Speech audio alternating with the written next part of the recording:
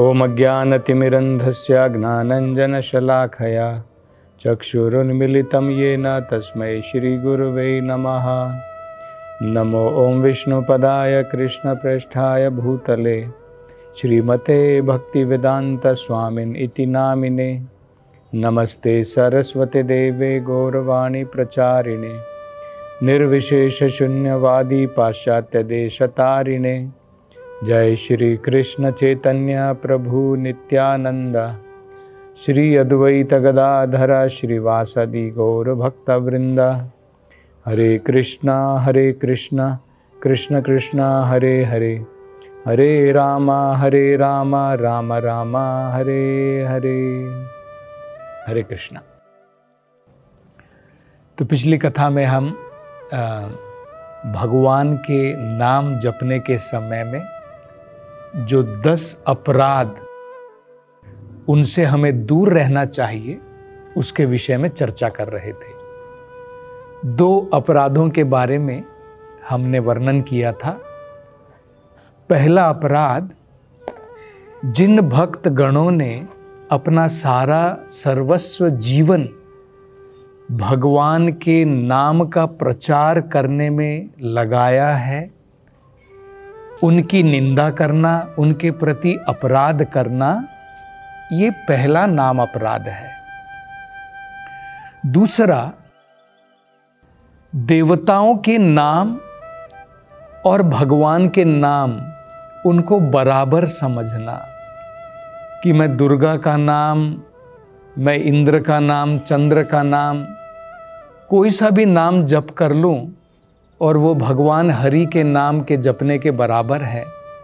अगर कोई ऐसा सोचता है और उस प्रकार से अगर वो भगवान के नाम का जप करता है तो वो अपराध है। तो ये जो दस अपराध हैं, ये पद्म पुराण में दिए गए तीसरा अपराध जो पद्म पुराण में दिया है, वो कहा है, गुरु अवज्ञा। मतलब जो हमारे प्रमाणिक गुरु हैं, उन्होंने जो हमें निर्देश दिए हैं, उन्होंने जो हमें आज्ञा दी है, हमें ये करना चाहिए, ये नहीं करना चाहिए, कुछ नियम बताए हैं, भक्ति में आगे कैसे बढ़ना चाहिए तो उनकी आज्ञा का अगर हम पालन नहीं करते हैं, और हम सोच रहे हैं कि हम भगवान के नाम का जप करके हम प्रगति कर पाएँगे। लेकिन गुरु की आज्ञा का पालन नहीं कर रहे हैं तो वो नाम के प्रति अपराध है। उसका फल हमें प्राप्त नहीं होगा। तो ये तीसरा होगा। चौथा दिया है श्रुति शास्त्र निंदनम। इसका मतलब होता है, जो हमारे जितने भी वेद हैं, उन्हें श्रुति कहते हैं। और पुराण है, रामायण है, महाभारत है, इतिहास है, और जो भी महान आचार्यों ने इन श्रुति स्मृति के अनुसार जो भी उन्होंने लिखा है, इन सब की अगर हम निंदा करते हैं, पुराणों की निंदा करते हैं, वेदों की निंदा करते हैं उपनिषद की निंदा करते हैं, महाभारत मतलब वेद पुराणों की। हमारे शास्त्रों की अगर हम निंदा करते हैं और भगवान के नाम का जप कर रहे हैं तो फल की प्राप्ति नहीं होगी। तो इससे भी हमें जो है, दूर रहना है। ये हो गया चौथा अपराध। पांचवा अपराध जो पद्म पुराण में दिया है, अर्थवाद। अर्थवाद का मतलब है, ये सोचना कि जो वेदों के अंदर में भगवान के नाम की महिमा के बारे में बताया गया है, ये सब एक प्रकार से एग्जैजरेशन है। मतलब इसको बढ़ा चढ़ा करके बताया है।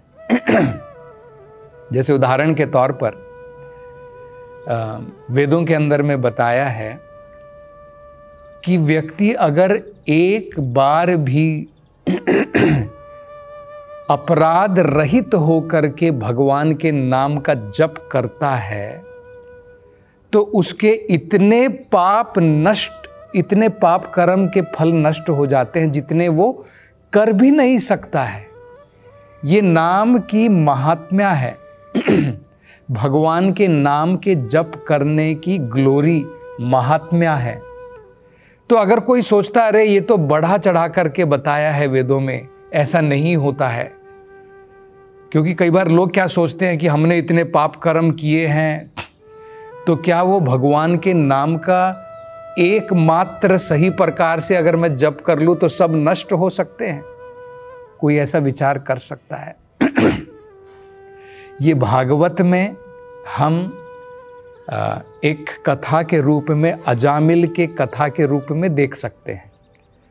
अजामिल ने अनेकों प्रकार के घोर पाप कर्म किए थे, लेकिन जब उसने भगवान के नाम का अपने जीवन के अंत के समय में भगवान के नाम का जप किया तो विष्णु दूतों ने बताया कि भगवान के नाम में इतनी शक्ति है।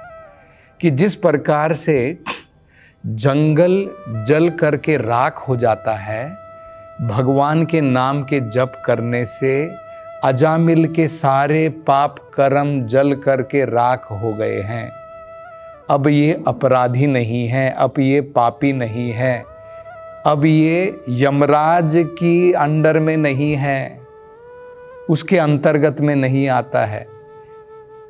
तो अगर कोई ऐसा सोचता है कि वेदों में जो नाम जप की महिमा के गान किए हैं, ये सब बढ़ा चढ़ा करके बताए गए हैं, ये भी एक अपराध है। तो ये हो गया पांचवा अपराध। छठा अपराध होता है, हरि नामनी कल्पनम।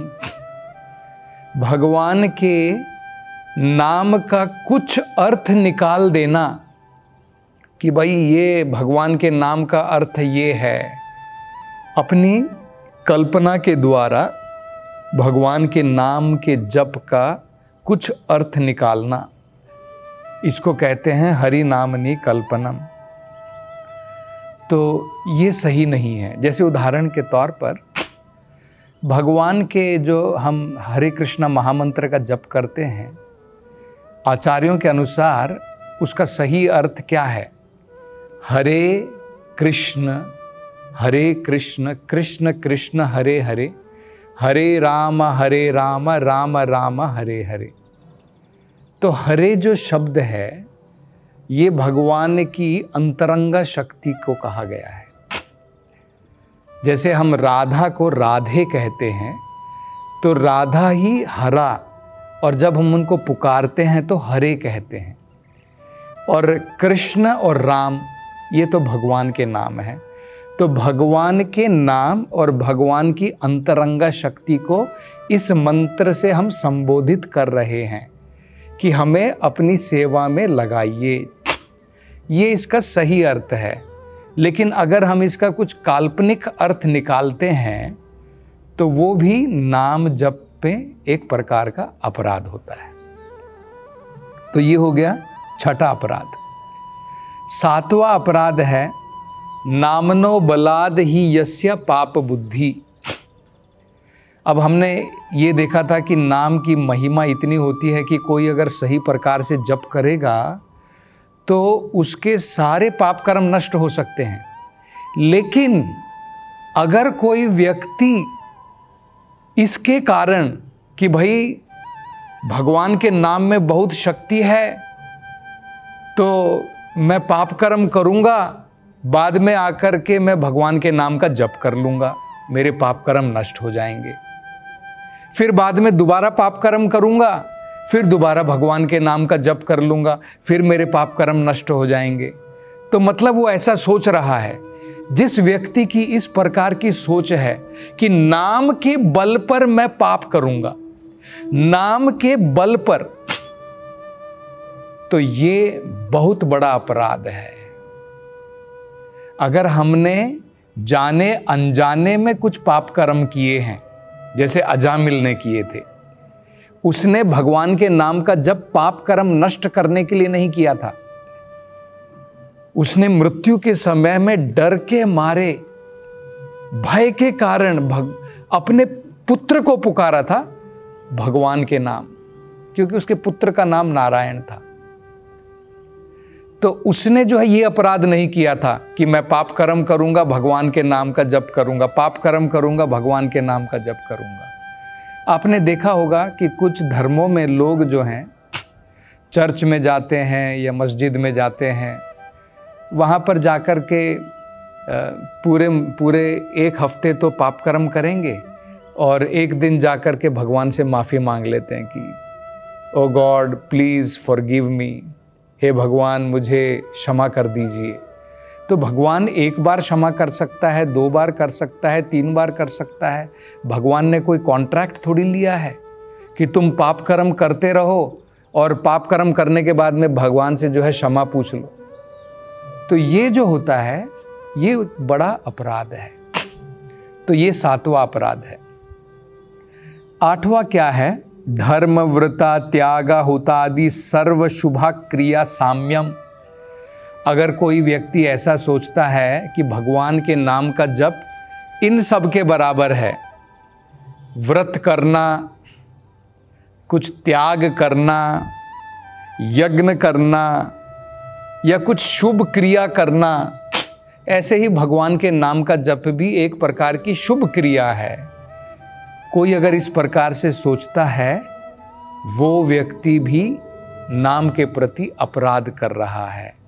ये जो हम सारे करते हैं, जैसे कुछ त्याग करते हैं, कुछ दान करते हैं, कुछ पुण्य करते हैं, कुछ शुभ कार्य करते हैं, ये भौतिक कार्य हैं। भगवान का नाम आध्यात्मिक है। तो दोनों में कोई बराबरी नहीं है।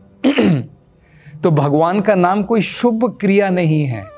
भगवान का नाम का जप दिव्य क्रिया है। शुभ मात्र क्रिया नहीं है। शुभ तो है, लेकिन वो दिव्य है। ये जो हम लोग बाकी चीज़ें करते हैं, वो केवल इस भौतिक संसार की एक प्रकार से कुछ ऑस्पिशियस शुभ क्रियाएँ होती हैं। लेकिन भगवान का नाम का जप दिव्य होता है। तो इसमें कोई बराबरी नहीं है। तो ये हो गया आठवां। नोवा जो अपराध होता है अश्रद्धाने विमुखे पी अशृणवती यश्चो उपदेशो। जिस व्यक्ति को भगवान के नाम के प्रति श्रद्धा नहीं है अश्रद्धा धाना विमुखे, जो नास्तिक है भगवान के प्रति उसकी कोई आस्था नहीं है। भगवान से विमुख हो गया है, विमुखे। उसको भगवान के नाम के विषय में उपदेश देना कि भाई तुम भगवान के नाम का जप करो, भगवान के नाम की बहुत महिमा है, भगवान के नाम का जप करोगे तो तुम्हारे सारे पाप कर्म नष्ट हो जाएँगे। तो जिस व्यक्ति को श्रद्धा नहीं है जो व्यक्ति भगवान से विमुख है, नास्तिक है, उस प्रकार के व्यक्ति को भगवान के नाम के गुणों का वर्णन करना, वो भी एक प्रकार का अपराध है। तो ये नोवा अपराध है। दसवां बताया गया है, श्रुते अपि नाम महात्मये, यह प्रीति रहितो न रहा बड़ा सुंदर है देखिए समझना।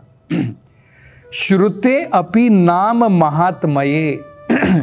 बहुत बार अगर हमने भगवान के नाम के विषय में सुना है, भगवान के नाम की महात्म्या के बारे में सुना है, जैसे गीता महात्म्या होती है, ऐसे भगवान के नाम की महात्म्या है। मतलब भगवान के नाम की ग्लोरी है। उसकी महात्म्या है। उसके विषय में हमने सुना है कि कितना श्रेष्ठ होता है भगवान के नाम का जप करना। लेकिन उसके बाद में भी अगर भगवान के नाम के जप करने में हमारी प्रीति जागृत नहीं हुई है, हमारा प्रेम जागृत नहीं हुआ है भगवान, हमारी कुछ आसक्ति जागृत नहीं हुई है, हमारी रुचि जागृत नहीं हुई है भगवान के नाम के जप करने के लिए। तो ये भी एक प्रकार का अपराध है। आगे कहा है अहम ममादि परमो नामनीसो अपरी अपराध। और इतना सब जप करने के बाद हम जप करने में लगे हैं, जप की महात्मा के बारे में सुना है, लेकिन फिर भी भौतिक स्तर पर बैठे हुए हैं। मैं, मेरा अहम ममादि परमो, वो हमारे जीवन में परम है। भगवान का नाम हमारे जीवन में अभी भी परम नहीं हुआ है। भौतिकतावाद में अभी भी हम लोग डूबे हुए हैं। ये भी भगवान के नाम के प्रति अपराध है। तो देखिए, बड़ा महत्वपूर्ण है। इसी दसवें अपराध में बताया जाता है कि जब हम भगवान के नाम का जप करें तो भगवान के नाम का जप हमें ध्यान पूर्वक सुनना चाहिए। अगर हम बिना ध्यान के सुनेंगे, हमारा मन कहीं और भटक रहा है और हम इस कान से सुनेंगे, इस कान से निकाल देते हैं। तो उस प्रकार के जप का ज़्यादा फ़ायदा नहीं होता है। कई बार हमने देखा है ना, तोता भी होता है, उसको भी हम लोग जो है राम राम राम राम कहना सिखा सकते हैं। लेकिन वेदों में बताया है, इसी तोते को जब बिल्ली आकर के पकड़ेगी गर्दन से, तब वो राम नाम का जप नहीं करेगा। क्योंकि वो केवल अपने जीभ से, केवल अपने मुख से बोल रहा है। वो अपने हृदय में वो राम का नाम नहीं जा रहा है। तो जब हम ध्यान पूर्वक मन लगा करके भगवान के नाम का श्रवण करेंगे अटेंटिवली ध्यान पूर्वक तब जो है, भगवान के नाम की जो महिमा है, जो शक्ति है, जो उसका फल की प्राप्ति होती है, वो हम कर पाएँगे। तो ये बड़ा महत्वपूर्ण है, जब हम भगवान के नाम का जप करें तो मन लगा करके श्रद्धा के साथ में, बड़े ही श्रद्धा के साथ में, क्योंकि भगवान और भगवान का नाम में कोई अंतर नहीं है। जब आप भगवान के नाम का जप कर रहे हैं तो भगवान वहाँ पर प्रेजेंट हैं। तो अगर एक महान व्यक्ति वहाँ पर प्रेजेंट है और आपका ध्यान कहीं और है तो ये एक अपराध होता है। आपके घर में कोई बड़ा महान मेहमान आया है, आप उसकी तरफ़ कोई उसका, आपका ध्यान नहीं, आपका ध्यान कहीं और है तो वो एक अपराध होता है। तो अब अन्य जो भक्ति के अंग हैं श्रवणम हो गया, कीर्तनम हो गया। बाकी के साथ इनकी चर्चा हम अगली कथा में करेंगे। हरे कृष्ण।